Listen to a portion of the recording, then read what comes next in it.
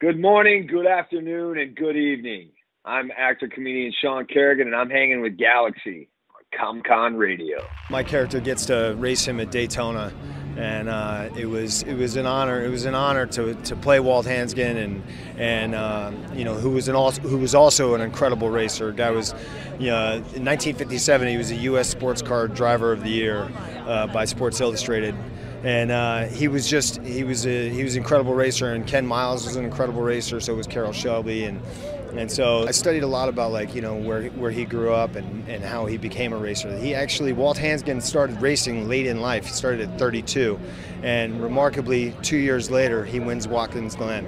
He grew up working in, an, in his dad's auto shop, and uh, learned a lot about cars, and he just really understood cars, and. Uh, and he just he became a hell of a racer really fast. When you watch the movie, you're going to feel like you're in the race car. That's one thing that uh, that uh, James Mangold, he, you know, Jim, he, he he made sure to you know shoot a lot of stuff from in the car, and, and you'll feel it when you watch the movie. You feel like you're actually there. It's really it's pretty cool.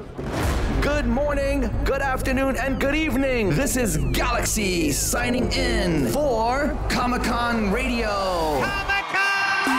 coverage of pop culture events from around the globe, amazing interviews with celebrities, daily recaps and reviews of popular television, movie reviews, everything Comic Con and fandom from around the globe. Comic Con Radio. Get ready to enter our universe. Let's go.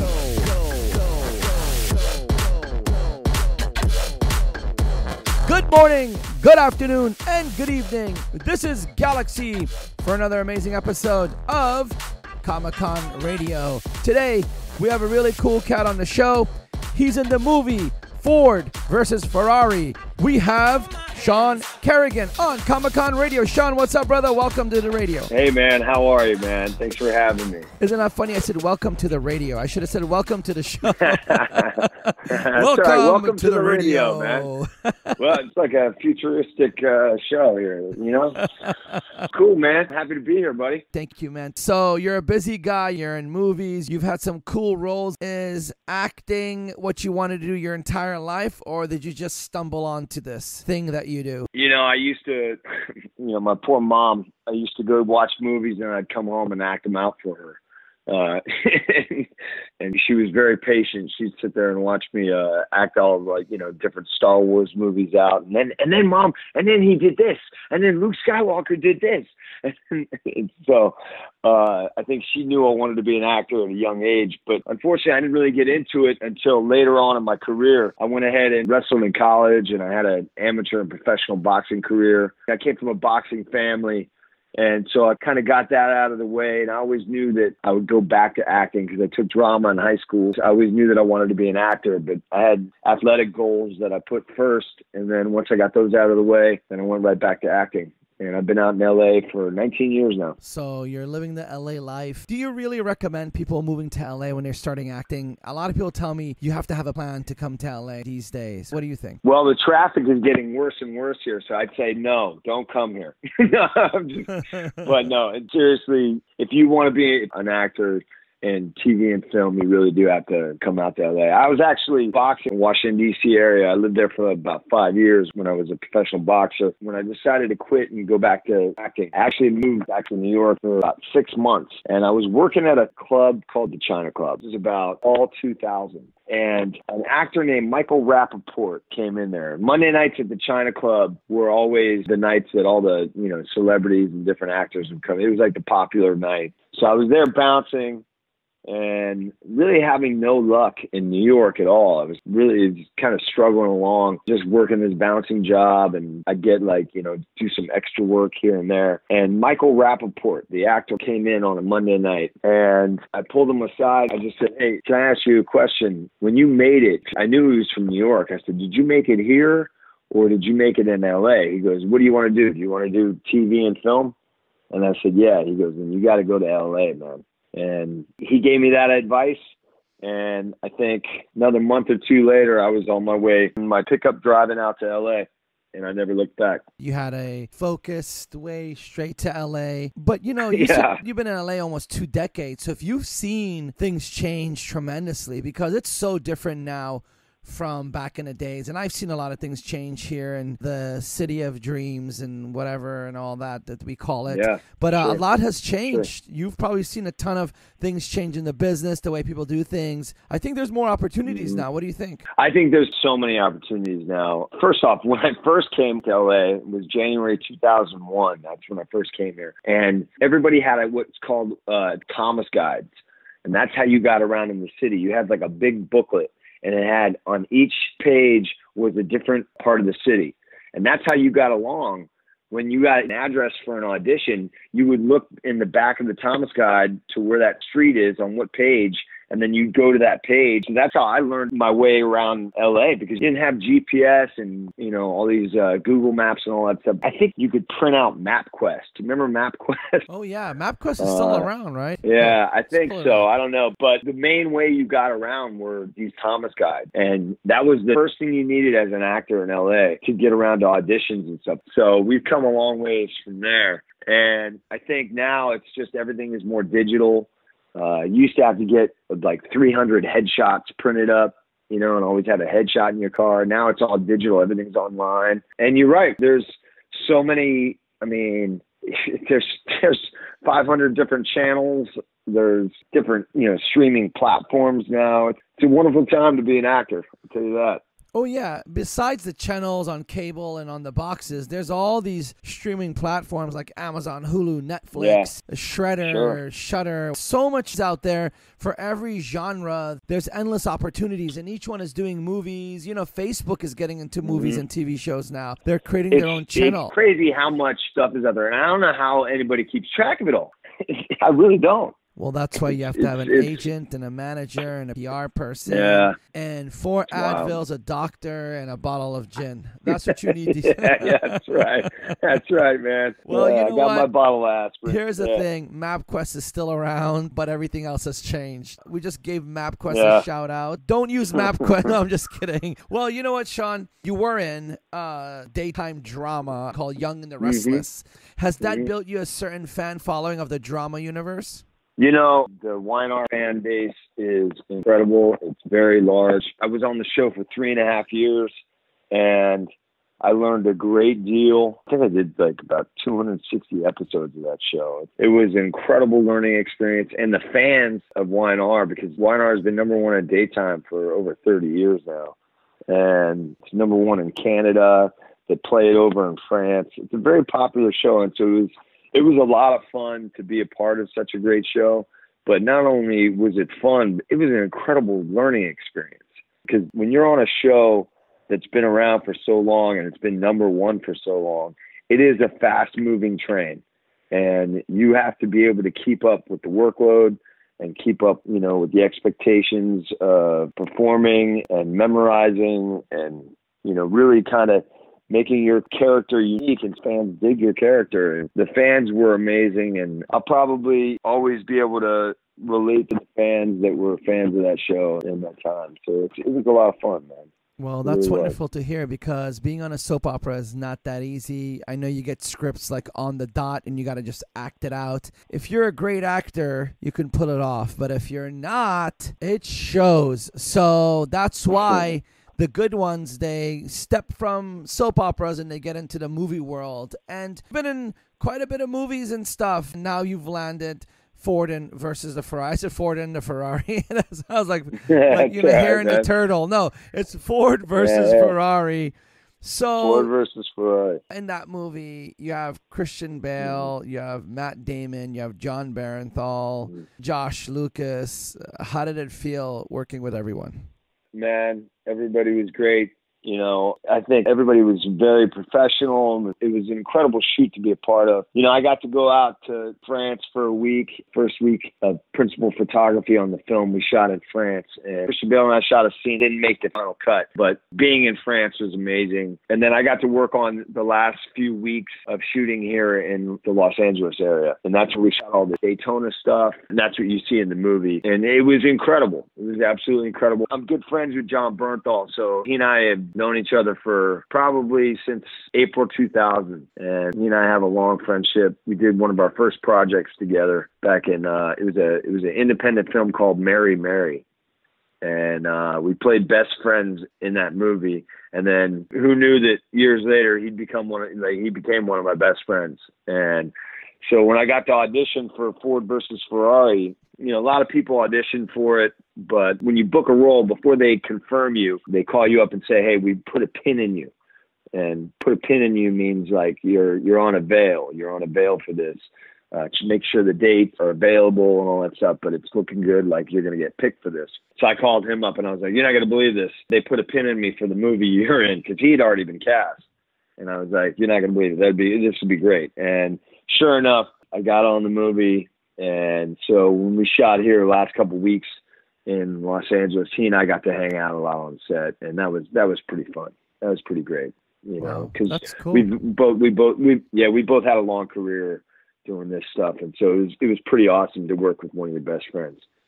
That must be so much fun. It's your best buddy, and you guys get to hang out on somebody else's dime. That's the best thing in the universe. You yeah, making a race car movie, uh, Right. you know, with uh, one of your best friends and, you know, with a cast like Christian Bale and Matt Damon and, Tracy Letts, uh, all these fantastic actors, Ray McKinnon. I I mean, it's really great. Well, what a macho movie, right? A car versus a car, right? That's the uh, Yeah, that's it. pinnacle of um, the man cave thing, right? All these cars pinned on their walls. So, you and John Bernthal are buddies. You guys box together, right? You're an ex-pro boxer. He, you Mhm. know, looks like he can kill somebody because of the roles he plays. He's uh, put this like mental thing in the world that I will kill you if you get in my way. um, I know he's not like that in real life. Really cool guy, but uh, you know he really puts his heart into things, and we want to get him on the show and talk to him about his career and stuff like that. But I know acting is your love, but you also love comedy. You're a comedian and you Yeah. tour. Yeah, How it's is that for you? It's wonderful. Uh, you know, I get to perform uh, at some of the clubs here in Los Angeles, and I'm a regular at a comedy club called the Ha Ha Comedy Club in North Hollywood. And you know, I started doing comedy. Man, I think I think it was like 2009, 2010. I started doing comedy, and and it just kind of changed the whole outlook on life and the business. And I had been at a party and told a funny story to friends, and I always liked that feeling of making people laugh that's really something I've always enjoyed. I think I come from a family of storytellers. We all like to sit around and spin a yarn and tell a good story, and there's nothing like it. And so to learn how to do that and make a room full of strangers laugh seemed like a logical path for me. And, and I wasn't very good when I first started.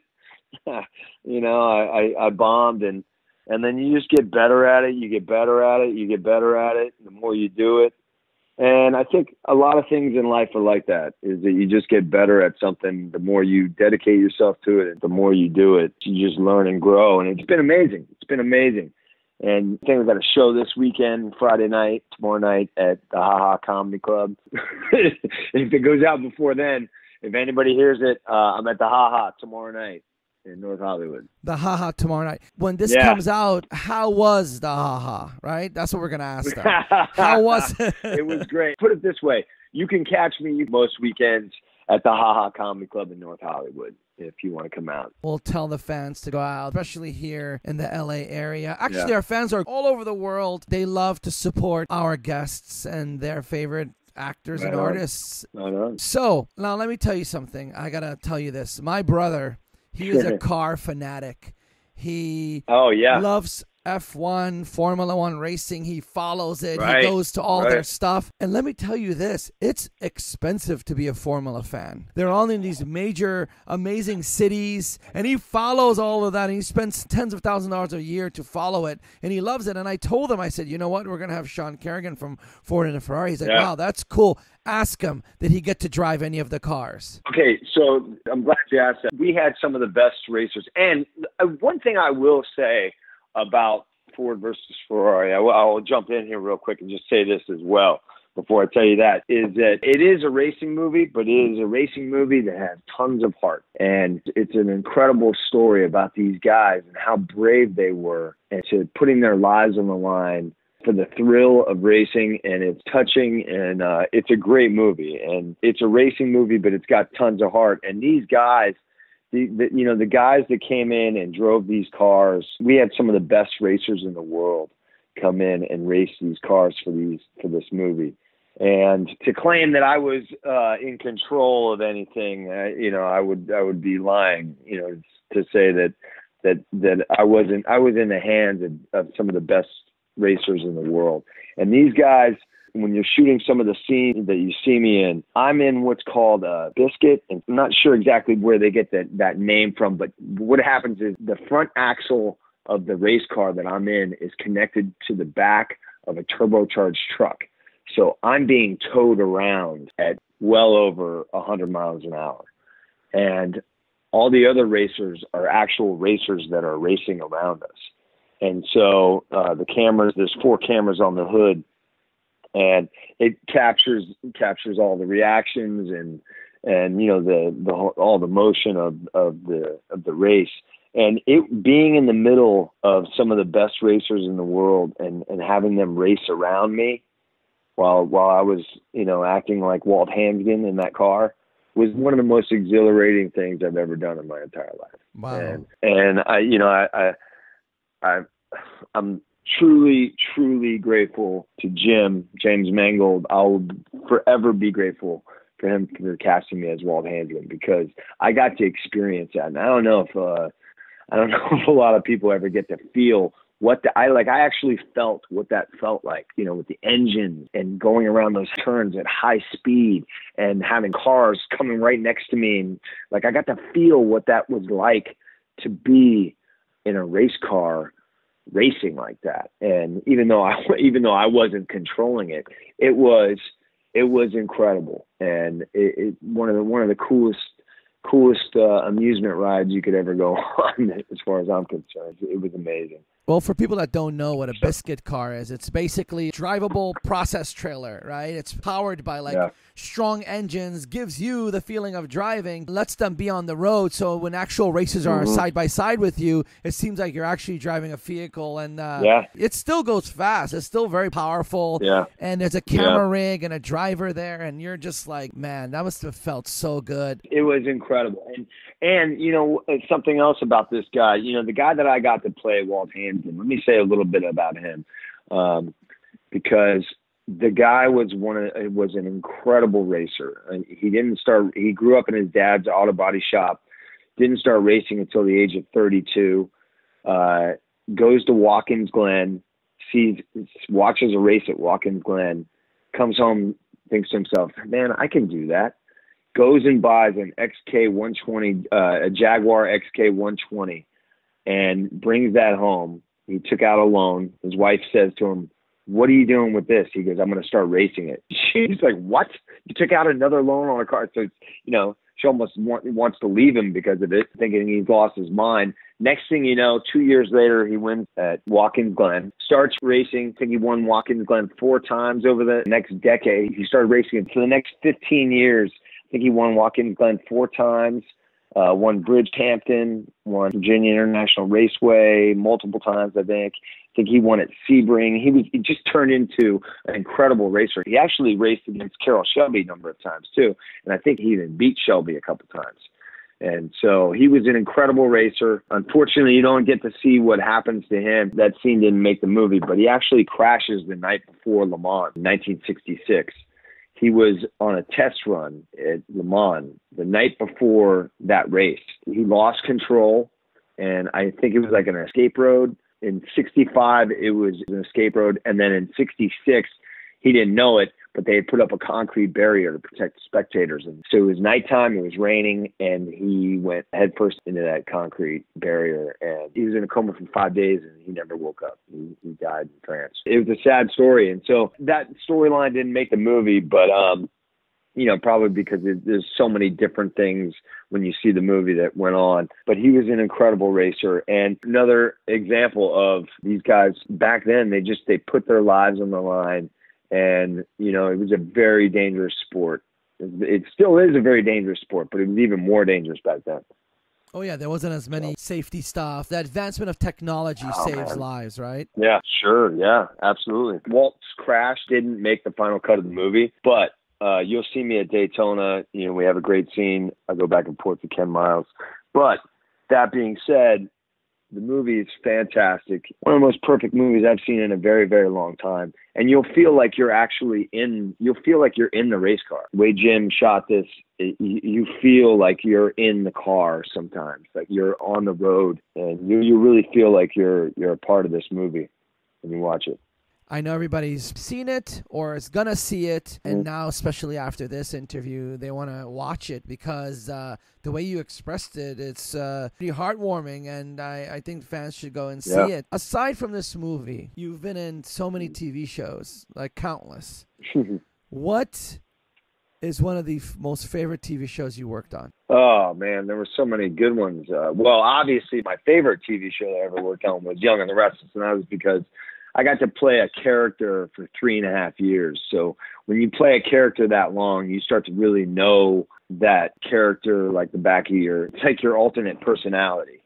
And so that was kind of fun. I really enjoyed that. I That got to be married Stitch, on right? the show. And Young and the Restless. Yeah, that was Stitch. Yeah, yeah. I loved Modern Family. Modern Family was a great set to work on. I thought that was one of the funnest sets I've I've worked on, and just everybody was so kind, and everybody was just so open, and that, and you see how you see how a show like that is so successful because they created such a wonderful environment on set that you know you can't help but have fun when you're when you're making it. And so that was i really enjoyed uh, being on that set uh did an episode of that. Uh, there's so many i did a show called the event that was on nbc uh i did a half a season on that with the great and the guy i acted with the most i was his i was like his right hand man was an actor named clifton collins jr and fantastic actor but an even better even better person.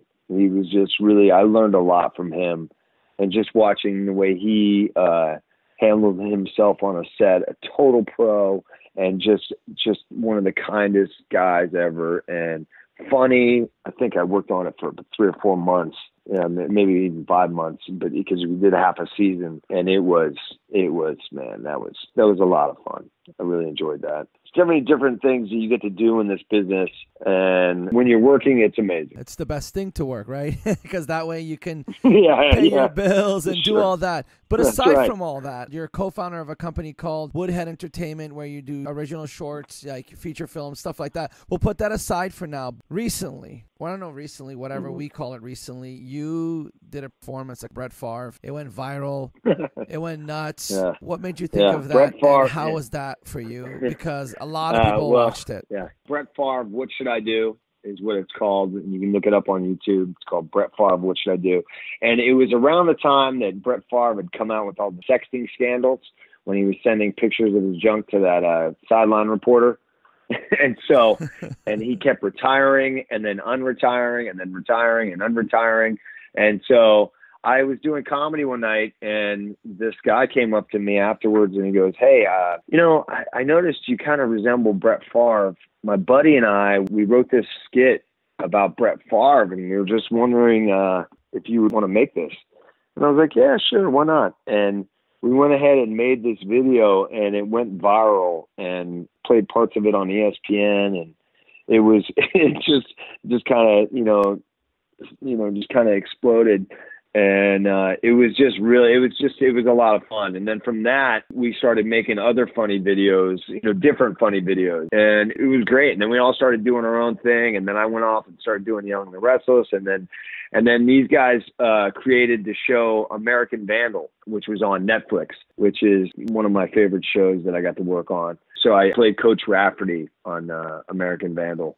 So i got to work with those guys again Well, that was, was a good it was show. a lot of fun That was a great Yeah, show. yeah. American Vandal or is a great show. People could watch it on Netflix and Yeah. isn't it crazy that or not crazy, but isn't it such a weird world where you work on this one little funny skit with them and it leads to so many other amazing stuff. Yeah, it really it was it was really interesting, and you know when when the three of us, you know, it was Dan, Tony, and me, myself, when we shot the Brett Favre video and it and it did really well. Months went by, and then I like hit him up again. I was like, "Hey guys, I really liked working with you guys. What else you guys got? You got some other stuff?" And then we just started doing funny stuff. It just kind of took off, and you know, we did other funny videos. We did we had there's a there's a great video uh, that's on the internet called Last Words with Mark Pellegrino and John Bernthal. And that so if you get a chance, look that one up. Last Words with Mark Pellegrino and John Bernthal. That that's uh, another one, another funny video we did. And then we've got other ones. We've got Extremely Dark Night. We've got Shark Pool. We did a bunch of funny videos, Average Party, and and it just uh, it just helped us get other work and then you know go on to create other things and so as long as you're doing stuff in the business and, and trying to create funny content or trying to create content period you never know what road that's going to take you down and and lead to other stuff so it's been it's been a, it's been quite a journey man it really has Oh yeah, really has. and that journey is great because you have some cool actor friends. You guys have talent, and when talent gets together, cool things happen and people want to see it. So, is that what led you to Woodhead Entertainment? that was the company i'm talking about with Dan Perrault and Tony Yacenda Nice. So that Um, all worked together yeah. at the same time. It was all something that Yeah. happened. There, there you go. That's why I said we got to lead with the video first. Yeah, and that's exactly what happened. It started with that Brett Favre "What Should I Do" video, and believe it or not, you want to hear something funny? I did. I recently did a commercial with uh, a guy who was a wide receiver for the San Diego Chargers, Los Angeles Chargers. Now I can't get used to that. Yeah, we have to say the Los correct, Angeles Chargers. okay? yeah, yeah. Sorry about that. Yeah, they moved to Los Angeles. I can't get. I still can't get used to that. Anyway, but he was a, he he was a wide receiver with them when they were in San Diego, and and he told he told me that when that video came out, it just made the rounds through the whole NFL, and everybody would always send that video to Brett Favre. and, Probably got and- like a thousand and- times. uh, oh yeah, they, they just it was hilarious, and so he still he still quotes it to me. The uh, Kasim he, he hit me up the other day and, and was quoting the the video. It's really funny, and believe it or not, Brett Favre actually saw it. I had a buddy of mine who was doing a charity event with Brett Favre. He started texting me. He goes, "You're not going to believe this. I'm at a charity event. I'm sitting at a table with Brett Favre. I got to ask him if he saw the video." I was like, "Ah, we'll see how this goes." And then I guess as the the charity event went on later and later, he asked Brett. He, you know, they they had more drinks or whatever. You know, he got to know him a little bit, and then he said, "Hey, man, I have to ask you a question. A buddy of mine did a video playing you." He goes, uh, "Did you see it?" And he said, Brett Favre got real quiet. He looked down. He goes, "Yeah, yeah, I saw it." and he goes, he goes, "Did you think it was funny?" And he goes, he paused. He goes, "Yeah, I had a few chuckles." so, so that was I got I got the nod. I got the nod from from Brett Favre. Brett I- Favre. He, he liked Brett Favre. He liked Brett Favre. What should I do? He There you go. the Brett Favre the likes video. Brett Favre. What should I do? And if Brett Favre or any of his team members are listening to this, thank you for giving your Yeah. nod because Yeah. the other Brett Favre here loves that. right on, man. You look like you could be cousins, you know, or brothers. Yeah, who knows? Maybe we're long lost cousins. I don't know. Yeah, you never know, right? You never know. But yeah, he was going through some stuff there for a while, and that's funny how you guys just like picked it up and created something and the right moment. It really was. What else do you like to do? What else is there that makes Sean Carrigan uh, wake up in the morning for? Yeah. what else is there time in the day for? Uh, Yeah. Let's see. I, I'm on an improv team currently uh, at the Groundlings right now and trying to do shows there. And I went through the improv program at IO West before it closed down here in, in uh, Hollywood. Improv Olympic was a big improv theater. It closed down a couple years ago. But uh, before it did, I went through the program there and used to do shows once a week there with my uh, improv team, Leg Day Improv. What are So they I- called, so Leg I, Day? I, I try to. I, yeah, called Leg Day. Leg Day. That's yeah, good. That was, that was the name of. it's leg yeah, that day, was bro. the name of our. uh, yeah, that was the name of our improv group, Leg Day. ah, that's and funny. so we, uh, yeah, yeah, so we were. I was on a team with them, trying to balance my acting, uh, my stand up, and my improv, and just trying to trying to hone those skills. And then when I'm not doing that, I'm at the boxing gym working out. Love my beach runs. I live near the beach here in uh, right on the border of Venice and Santa Monica. So I like to get out by the beach. I used to I used to surf a lot. I haven't had a lot of time for that lately, but I like to surf. I like to ski. Uh, and I like I love to travel, man. I love to see I love to see things and see the world. Fortunately enough, you know this this profession, you know the profession of acting, you know, you, you know, sometimes you get to go see, go go different places. Like for Ford versus Ferrari, I got to go out to France for a week. I got to, I got to, I got to go to Le Mans. I got to see the race. I got to see the race where they race. I got to see the cars. I got to go to the 24 hour uh, of Le Mans uh, museum. Uh, you know, uh, I got I got to I got to be there. I got to be in. The, I got to stay in the same hotel where a lot of the racers stay when they're uh, when they come to town.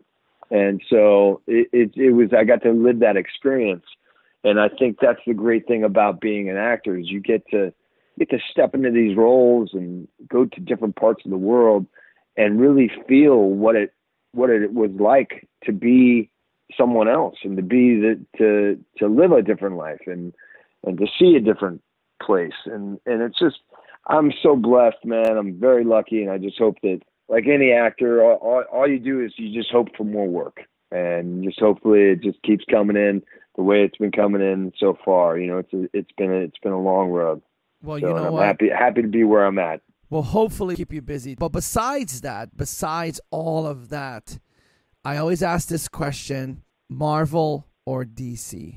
Marvel Why? because my best friend played the Punisher. There you go. so I gotta stay loyal to Marvel. That's it, So- huh? That's that's only why. It is. Uh, that's basically it. well, So, you know what? You yeah. could work with another movie with him, and that's it. Bros for life. There you go, man. It Yeah. seems like your life is so rounded around so many things that you're so busy. It's like a constant of doing so many things. Do you recommend that for people, or do you recommend them to focus on one avenue or the other? What do you think? Because you have all these Oh things. man, it's so interesting you ask that because I think that sometimes I'm like, am I doing too much? Am I like, am I spinning too many plates at once? But I just find that by keeping myself busy, it just keeps my creative juices flowing. And you know, I'm sure there are times where I feel like I'm spread a little bit too thin. But you know, we're only on this planet one time, and I enjoy doing a lot of different things and wearing a lot of different hats and experiencing a lot of different things. And so I don't know that I'll ever, you know, kind of settle down to one thing. And I, I really enjoy like doing a lot of different things. And that's kind of what the goal of my career has been is I want to be versatile. So in doing that, it doesn't leave me a lot of free time. But when I'm doing a really cool role or if I'm, you know, over in Spain somewhere, or if I'm even shooting here in uh, on The Young and the Restless, or when I was doing all this, you know, shooting a commercial, it's it's it just provides. Or if I'm doing stand up, it just it just provides me with a different experience. And I think uh, I think you know I want to see and do it all probably, and maybe uh, maybe that's a little bit you know too lofty a goal, but it works for me. So that's what I'm doing. Hey, well, if it works for you, it's working great. And what kind of advice do you give for like new actors? What do you want them to do? What do you think they should do to skip the two decades you put into it and just get ahead really quick in a year? Because there's some actors out there that within their first year they're like launched. You know, man, I, I in in all honesty, I think it's just I think everybody's career is different and you know, I think um some people are luckier than others. They they happen to be in the right spot at the right time. I myself think that you know, you never know what opportunity is going to be around the corner. So just try to be prepared. Um, get good some good schooling in. Become a member of a rep, good repertory theater company. I was a member of uh, Playhouse West Repertory Theater Company for years, and before that, I was at the Beverly Hills Playhouse under Milton Katselas. So, um, and then and then I went and then I ended up at, at Playhouse West Repertory Theater Company under Bob Carnicelli, and you know, it's a community that it was a community of actors and you, you I learned a great deal. And I think that's something that's very important is to find yourself a good community of actors. Um, you know find a good theater company or a good school to be uh, involved in because sometimes opportunities come through through that I actually did a, a movie with uh, Jennifer Hudson it was directed by Ashley Judd uh, and I got that from uh, from play, being a member of Playhouse West and having a good relationship with Bob Carnicelli. He recommended me to Ashley Judd, and the next thing you know, she cast me in this uh, in this movie Call Me Crazy. It was on Lifetime, and, it was about mental illness. And and, and next thing you know, I, I'm sitting there acting uh, one night with Jennifer Hudson. It was it was a it was an incredible experience. But so what I'm saying is, find yourself a good community of actors or a good school, and be ready for those opportunities when they present themselves. Just stay the course. Always try to create something, find a great place to study. People that I think are cool to give that advice, I asked them. You're one of those cool people. oh, thanks, man. no, you are. Well, you're thanks, a cool buddy. dude. You're making it happen. And the Comic Con universe now knows you. Have you ever been to a Comic Con event? I actually went to one uh, down in New Orleans. John called me down there. He said, Hey, you got to come down to New Orleans. And so I got to go down there uh, to New Orleans for one. This was years ago, but uh, Steven Yeun was there, John was there. Um, yeah, so it was it was it was, a lot. One. Yeah. It was a wa- walking. Yeah, it was a Walking Dead. Dead. Yeah, but it was it was a it was years ago. It was years ago. But but man, I had a great time. I had a I had a it, it was it was really cool, man. I, I really enjoyed myself. Well, we're hoping that one day you're in a panel or in Comic Con where the fans can meet you and hang out with you, and uh, you never know. So, with that said, would you work in a superhero movie? Would you want to be part of anything like that? Oh my God, of course. Yeah, I'd love to. You I'd fit love the be, role. Yeah. You you look like you could be a superhero. I'm well, telling thanks, you, man. man. I appreciate it. you can you can do it. Well, it can uh, happen. I, am down. It can happen. Yeah, right on. And you know the right people, and you're doing the right thing, and you have a lot of talent. So why not? So here's the thing. Sure. You've been on a lot of sets. You go all over the world, and you love all sorts of movies. You love Marvel. I asked this question too. Has anything paranormal ever happened to you? Oh man, you know, I would say yes. I will absolutely answer yes. It's all good. You're not crazy. Uh, don't worry. I, I, got you. Don't worry. uh, I don't know. There's there's a, there's a part of me that feels like I have a guardian angel that's with me sometimes. But then I also have, you know, I've had uh, I've had situations where stuff has gone for a while there. You know, this is uh, my ex and I. We there, you know, she's we used to live together, and and there was a while there where we thought we thought there there was. See, I feel stupid even saying it. Just I really it. do. It's all you I, thought I it was felt, a ghost I in the felt, house. Yeah, that was hiding my stuff. Damn. And one day we, we looked for this suit. I, I used to have this this black suit, right? And I'll tell you this story. It's not it's not the rest. Everybody's always I don't know. Nobody ever believes it, but I had this suit. We put it in the closet. It was in there, you know, for a while. One day I needed the suit for something. You know, I said to Suzanne, I go, Suzanne, did you did you move my suit? I can't find my suit. We looked everywhere. We tore the we tore the whole the whole uh you know it's like a walk-in closet tur- tore that thing apart like looked everywhere. I'm like this is crazy. I looked in my car. Maybe i left it in my car. Maybe i went to the, i went to the cleaners. I was like did i take it to the cleaners? I it, this went on for a couple weeks. Then one day just one day i walked into the walk-in closet and i go suzanne get in here. I had chills.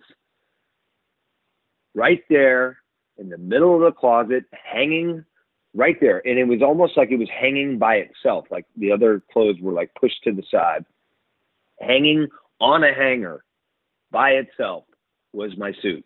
I had chills. She had chills. She walked in. I go, get in here, get in here. And she walked in the walk-in closet. It's like, what? And I go, look. And I pointed at the suit.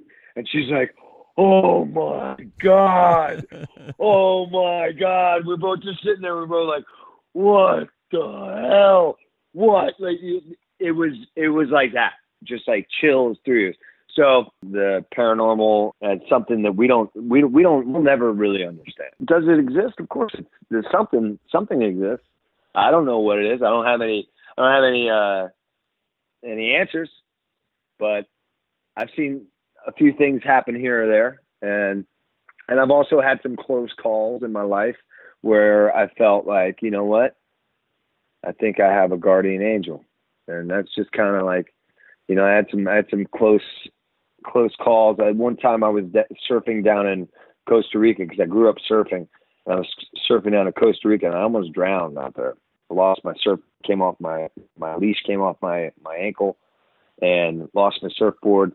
And I was there in an impact zone, you know, losing my breath, losing my breath, getting held under, and this guy just appeared out of nowhere on his surfboard and was like, "Get on!" And I jumped on his back, and then we got worked over a little bit, and he paddled me in, and I sat there on that beach, and I knew that day, and I and I, I had seen my life flash before my eyes because there was another wave coming at me, and I knew I was all out of air, and somehow this guy appeared on his surfboard. I jumped on his back.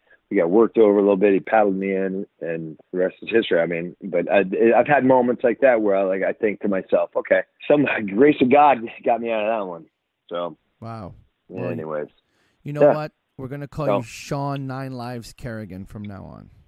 yeah, yeah, sure. that's a great sure. story. Sounds good, man. No, that's a great story. Yeah, it was. And... yeah, the guy's name was Lamb.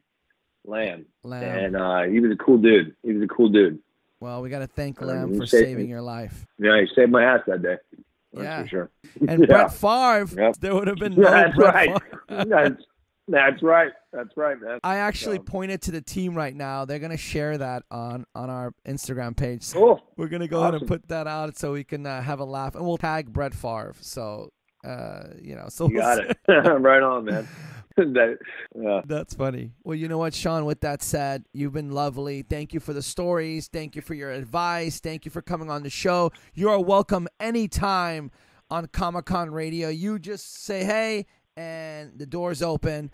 And we got you in here, brother. You're a really cool cat. Dude, that's awesome. We're going to follow you. We're going to get this episode ready, and we're going to launch it out to the universe and uh, we'll go from there. So, with that said, are you ready to sign out from another amazing episode of Comic Con Radio? Absolutely. Thank you so much, man. This this was a lot of fun. I really had a great time. Well, here we go. And if people want to reach you on Instagram, the real Sean Carrigan, and on Twitter, it's Sean Carrigan. There you go. So, ladies and gems, reach out to him. It's the real Sean Carrigan. Don't go to the other Sean Carrigan. He's not him. Don't follow that other guy. follow the real Sean Carrigan. Check it out. Follow him. Send him a post. Say what's up. Follow his movies, his shows, his private stuff, whatever you guys want to do. This has been an amazing episode. Good morning, good afternoon, good evening. This is Galaxy. And we're signing out from another amazing episode of Comic Con Radio. You ready, Sean? We're going to blow a million kisses to the universe. Ready? Three, two, one. Mwah! A billion. Mwah! There you go. Whoa, there you go. Sean gave all there you ladies go. out there a billion kisses. and keep that. Go watch on, Ford and the Ferrari. Check them out. And Sean, with Ford that, versus Ferrari. yeah. I said Ford versus yeah. Ferrari. Did I say it wrong? I said Yeah, buddy. oh, good, man. Oh, good. Well, you know what? With that said, peace. Peace. Good morning, good afternoon, and good evening. This is Galaxy signing out from another amazing episode of Comic Con Radio. Tune in for your daily shows of Comic Con Radio. Go to comiccon-radio.com. Reach us on social media Instagram at Comic Con Radio. Comic Con Radio, taking the world one listener at a time. Dude, that was fun, man. That was great. Thanks so much, man. I appreciate it. All this right, was Sean. fun, man. I really had a great time.